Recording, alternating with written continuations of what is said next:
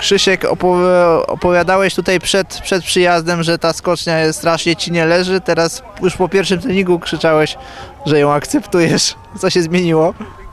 Znaczy przede wszystkim skoki, bo jak tu ostatnio byłem, e, nawet nie pamiętam kiedy, no to wtedy no, formą nie błyszczałem.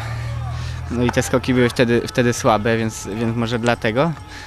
A skocznia teraz dzisiaj wydawała się całkiem w porządku. Do zaakceptowania. Warunki są tu dobre? E, tak, tak. Myślę, że jest w miarę równo. Jak na Kłopio to chyba, no to super. Te mrozy nie doskwierają wam? No trochę zimno. Tam na górze trzeba się cały czas ruszać, bo, bo można zmarznąć. No ale cóż, tak jest, tak wszyscy mają, trzeba to akceptować. Mimo wszystko ostatnio skaczesz bardzo równo, właściwie tutaj znowu trzy, trzy skoki, wszystkie podobne. Nie, nie masz takich wahań formy jak niektórzy koledzy. Z czego to myślisz wynika? Z czego wynika? No nie wiem, no o to chodziło, do tego się dążyło, żeby skoki były stabilne, powtarzalne, także no trzeba tylko dalej to utrzymywać. Masz jakieś jeszcze małe marzenie, cel w tej końcówce e, tego sezonu? Znaczy, no jakieś tam są. Znaczy przede wszystkim skakać dobrze. A takie, o czym tak myślałem, no to chciałbym, aby wystartować w ostatnim konkursie w Planicy.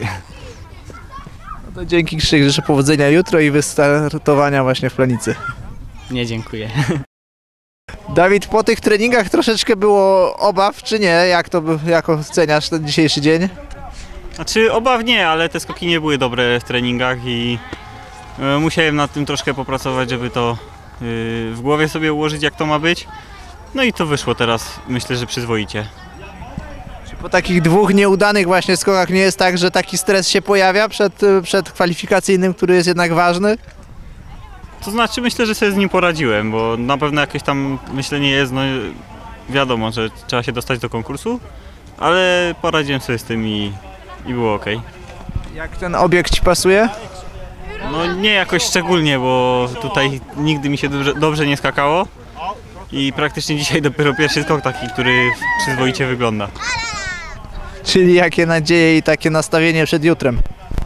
Cóż, no takie jak dzisiaj na, na, na te kwalifikacje. Trzeba dobrze skoczyć wreszcie.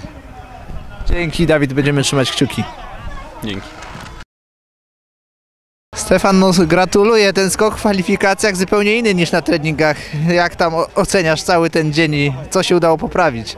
E, Przede wszystkim tempo na progu, z którym miałem problem w Lachti. To bardzo duży problem, bo wszystkie skoki tam wychodziły za wcześnie, a w konkursie to już zdecydowanie. I to była mała katastrofa, duża katastrofa. E, Na szczęście tutaj już wszystko przy tych skokach treningowych może jeszcze tego nie było widać, ale już teraz wszystko wróciło do normy i to taki w miarę normalny skok. No i co, no? Brakowało mi takiego skoku, więc mam nadzieję, że teraz już, już będzie tylko lepiej. Ciężko się zmobilizować na kwalifikacje po takich niezbyt udanych skokach treningowych? No ciężko, ciężko, to znaczy po niezbędnych skokach treningowych to, to jak najbardziej, ale jeszcze był konkurs, który zupełnie nie poszedł po mojej myśli.